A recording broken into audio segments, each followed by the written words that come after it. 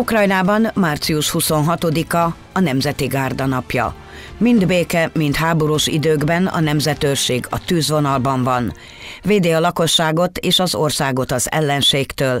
Természeti katasztrófák során részt vállal a mentési munkálatokban. Biztosítja a közrendet és a közbiztonságot. Volodymyr Zelenszky elnök a Nemzeti Gárda Kijevi főiskolájának idei diplomaátadó ünnepségén mondott beszédében hangsúlyozta. A Nemzeti Gárda Ukrajna védelmi rendszerének egyik kulcselemévé vált, amely megakadályozza, hogy az ellenség elfoglalja Ukrajnát. Mind a Donbászi háború éveiben, mind a teljes körű orosz invázió első perceiben a nemzeti gárdisták meghatározó erőt képviseltek, és máig mindent megtesznek Ukrajna felszabadításáért, fogalmazott az államfő. Slava Ukrajini!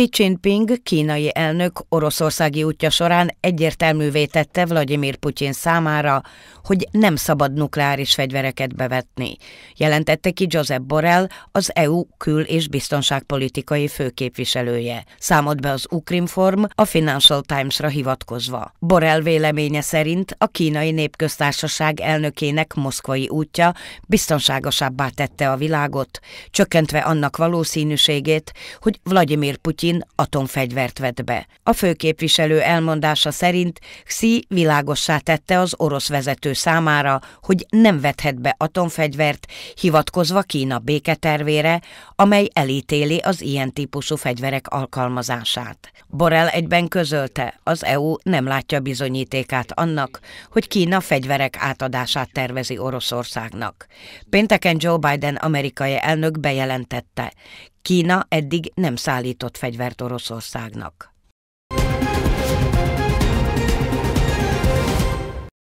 Recep Erdogan török elnök Vladimir Putyinnal folytatott telefonbeszélgetése során az ukrajnai háború befejezésére és a tárgyalások megkezdésére szólította fel az orosz elnököt. Erdogan egyben méltatta Putyin pozitív álláspontját a Fekete-tengeri Gabona megállapodás kapcsán, amelyet Ukrajna, Oroszország és Törökország március 18-án további 120 nappal hosszabbított meg. A két elnök megvitatta az országaik közötti kapcsolatok erősítését célzó intézkedéseket. Denis Mihály miniszterelnök értekezletet tartott a gazdasági minisztérium és az állami vagyonkezelő alap képviselőivel a privatizáció és az állami vállalatok irányításának reformjáról. Számolt be az Ukrinform a kormányfő Telegram csatornájára hivatkozva. Stratégiánk hogy minimalizáljuk az állam részvételét a gazdaságban, miközben fenntartjuk az állami felügyeletet Ukrajna biztonsága szempontjából stratégiai ágazatokban. Közöltes Mihály is hozzátette, a tervek szerint idén az állami tulajdonú vállalatok többsége az állami vagyonkezelő alap fenntartása alá kerül. Tevékenységük elemzését követően privatizálják, vagy a gazdasági együttműködési és fejlesztési szervezetek szervezet normáinak megfelelő vezetőséget neveznek ki.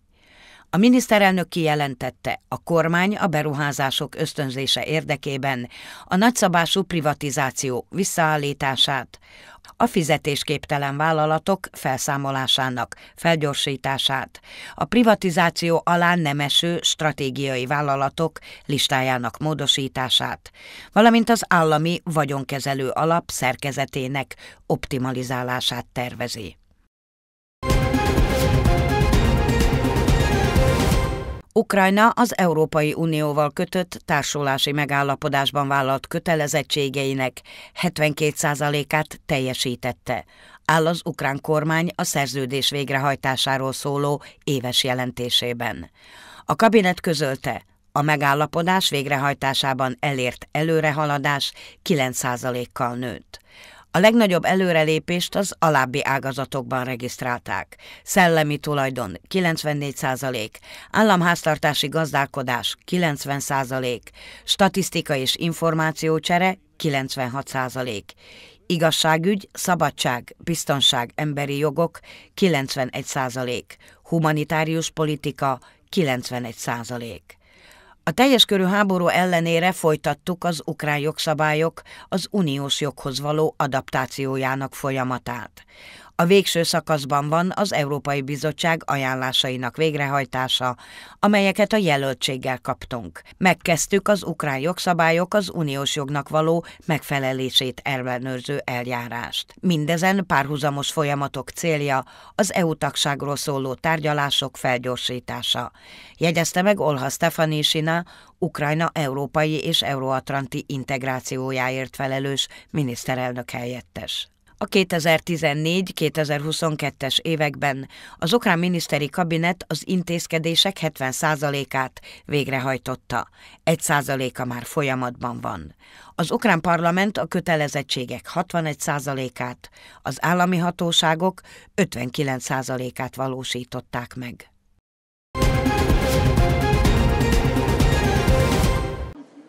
Mariupol és Vilnius polgármesterei Vadim Bojcsenko és Remigius Simasius szolidaritási nyilatkozatot írtak alá, melynek értelmében a litván partnerek a megszállás alóli felszabadítást követően csatlakoznak a város újjáépítéséhez. Számolt be a Mariupoli Városi Tanács telegramon. A hivatal közölte, Vilnius ma Európa egyik legígéretesebb városa. A második világháború utáni újjáépítési tapasztalattal is rendelkezik. Ezt fel kell használni a Mariupol újjáépítése projekt kidolgozása során. Bocsenko elmondása szerint Mariupolt fel fogják szabadítani. A város helyreállítási terve kidolgozás alatt van, ezért gyűjtik a tapasztalatokat és a szakértőket. Modern várost építünk a szovjet korszak fantomjai nélkül, fogalmazott a polgármester és köszönetet mondott Remigius Simasiusnak, Vilnus polgármesterének és a litván népnek a támogatásért. Az orosz agresszió az egyik legnagyobb humanitárius katasztrófát okozta Mariupolban. A város közel 90%-a le van rombolva, lakóépületek, kórházak, iskolák, óvodák semmisültek meg. Jelenleg a megszállók Mariupolt és a környező településeket az orosz hadsereg katonai logisztikai központjává alakítják át.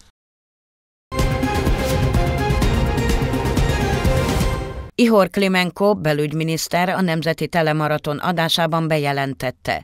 A tervek szerint az egységes fegyvernyilvántartást Ukrajnában három hónap múlva vezetik be. Klimenko elmondása szerint jelenleg a nyilvántartás kidolgozása van folyamatban, amely lehetővé teszi az adatok elektronikus formátumú cseréjét, és hozzájárul az illegális fegyverkereskedelem megelőzéséhez.